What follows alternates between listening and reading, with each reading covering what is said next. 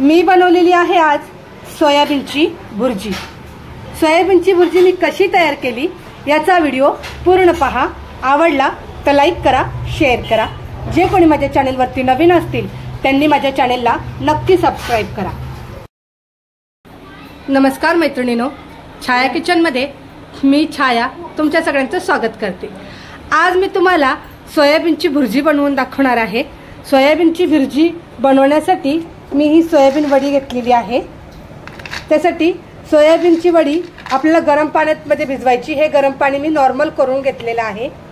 सोयाबीनची भुर्जी बनवण्यासाठी लागणारं साहित्य कोथिंबीर हिरवी मिरची बारीक चिरलेला टमाटर कांदा अद्रक लसूण पेस्ट जिरा पावडर तेल चवीनुसार मीठ हळद धणा पावडर गरम मसाला लाल मिरची पावडर. तर चला सोयाबीनची भुर्जी कशी बनवायची ते आपण बनवायला घेऊया. सोयाबीन वडी मी गरम पाण्यामध्ये सॉफ्ट होईपर्यंत भिजत ठेवणार आहे. नॉर्मल गरम पाणी आहे. तर आपण ही सोयाबीनची वडी चांगली सॉफ्ट भिजली पाहिजे तोपर्यंत भिजत ठेवूया. सोयाबीन वडी हे बघा सॉफ्ट मस्त अशी भिजलेली आहे. फक्त पाच मिनिटं आपण गरम पाण्यामध्ये ठेवली होती सोयाबीन वडी. आता ह्याला मी थंड पाण्यामध्ये टाकते. म्हणजे आपल्याला प्रेस करून सुकी सोयाबीन वडी करता येईल. सोयाबीन वडीमध्ये मी थंड पाणी टाकून घेतलेलं आहे. आता हे प्रेस करून मी तुम्हाला दाखवते. सुक्ख सोयाबीन आपल्याला करायचं हे बघा सोयाबीन वडी मी प्रेस करून घेते. एकदम सुख्ख करायचं आहे आपल्याला. हे बघा. असं सुख करून घ्यायचं. परत बघा सगळं पाणी ह्याच्यातलं सोयाबीन वडीमधलं निघालं पाहिजे. बघा सगळी सोयाबीन वडी मी आता प्रेस करून अशी सुक्की करून घेते. सोयाबीन वडी मी सुखी करून घेतली आहे आता हे सोयाबीन आपण मिक्सरला मी बारीक करून घेणार आहे.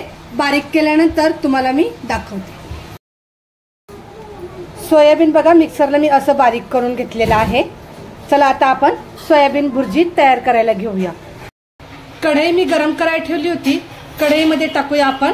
एक दीड चम्मच तेल टाकायचं आहे. तेलामध्ये टाकायचं आहे आपण चवीनुसार मीठ आणि पाव चम्मच अशी हळद.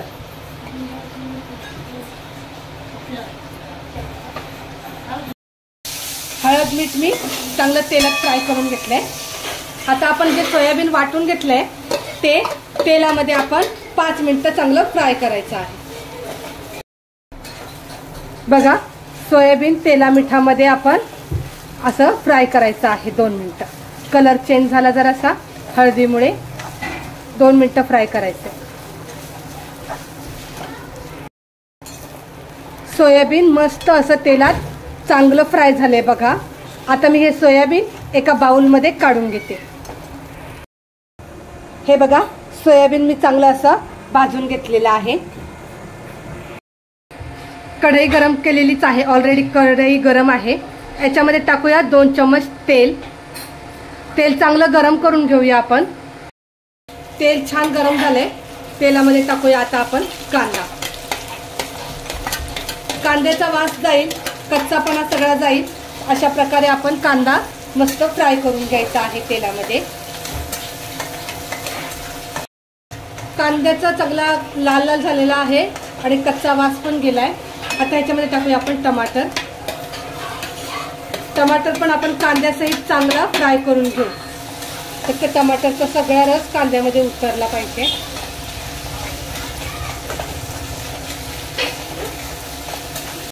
कांदा टमाटर बघा तेलात खूप छान फ्राय झालेला आहे. आता आपण याच्यामध्ये टाकूया अद्रक लसूण पेस्ट. अद्रक लसूण पेस्ट आपण कांदा टमाट्यामध्ये पूर्ण मिक्स होईल. असं आपण दोन मिनटं फ्राय करून घेऊ. आता याच्यामध्ये टाकूया आपण हिरवी मिरची.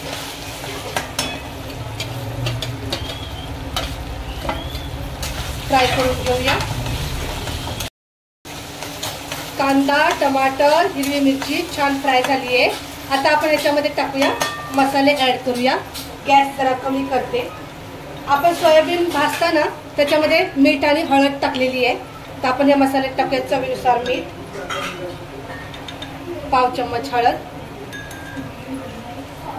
अर्धा चम्मच गरम मसाला अर्धा चम्मच धना पावडर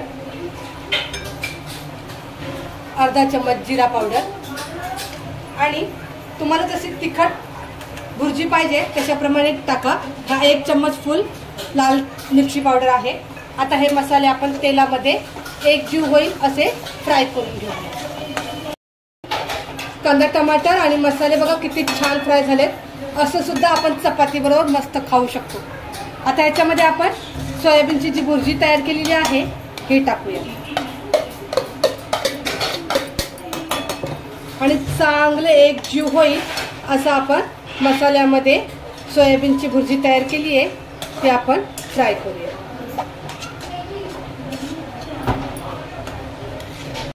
बघा मसाल्यामध्ये आपली ही सोयाबीन भुर्जी किती छान आणि मस्त तयार झाली आहे बघा. आता आपण याच्यामध्ये कच्ची कोथिंबीर घालायची आहे. भरपूर कोथिंबीर पण घेतलेली आहे मी.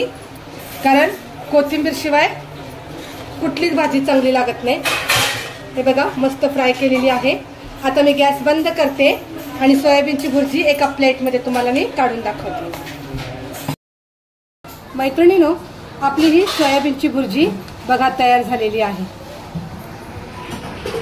खायला खूप भारी आणि झटपट होणारी ही सोयाबीनची भुर्जी. जे नॉनव्हेज खात नाहीत त्या व्हेजवाल्यांसाठी ही सोयाबीनची भुर्जी. तर मैत्रिणीनो सोयाबीनची भुर्जी याची रेसिपी तुम्हाला कशी वाटली? मला कमेंट बॉक्समध्ये सांगा. जे कोणी माझ्या चॅनलवरती नवीन असतील त्यांनी माझ्या नवनवीन रेसिपी आणि पारंपरिक पद्धतीच्या रेसिपी पाहण्यासाठी माझ्या चॅनलला लाईक करा शेअर करा सबस्क्राईब करा. परत आपण उद्या भेटूया नवीन रेसिपी सहित. थँक्यू जय हिंद जय महाराष्ट्र.